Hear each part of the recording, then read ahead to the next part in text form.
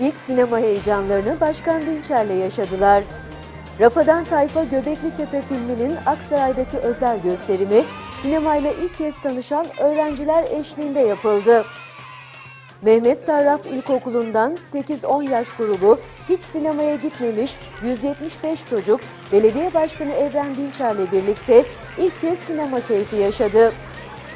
Öğrenciler Aksaray Belediyesi sponsorluğunda düzenlenen etkinlikte Belediye Başkanı Evren Dinçer'in de katılımıyla TRT Çocuğun sevilen çizgi dizisi Rafadan Tayfa'nın ikinci sinema filmi Rafadan Tayfa Göbekli Tepe filmini izlediler. Başkan Dinçer ilk kez sinemayla tanışarak sinema salonunda film izlemenin heyecanını yaşayan öğrencilere elleriyle patlamış mısır ikram etti. Koltuklarda yerini alan çocukları sevgiyle selamlayarak birlikte film izledi.